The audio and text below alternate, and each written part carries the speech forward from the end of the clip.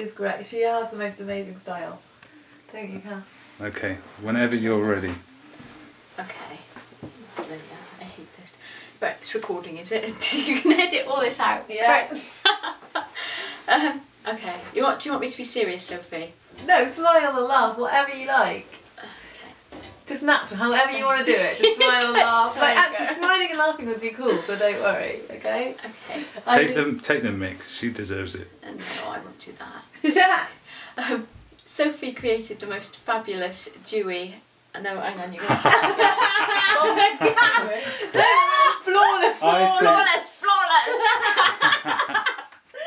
Oh no, we're gonna be. All this is going hours. in. I oh, I'm sorry. See, they ever work with me. Um, okay. you can't look down though in the middle. No, of I know. I'm trying. I'm trying to memorise Okay, it. okay.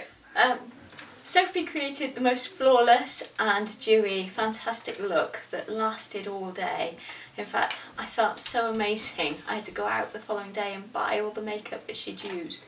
But unfortunately, it never ever looks the same when you do it yourself at home.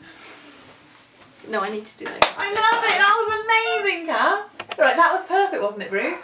I liked it, but if you want to But then no, redo- that was perfect. What, what else did we have that you? I can't remember. Was there anything else? Um, I then put. I also booked her at a later date for a boudoir shoot, because I knew she'd make me look and feel really glam.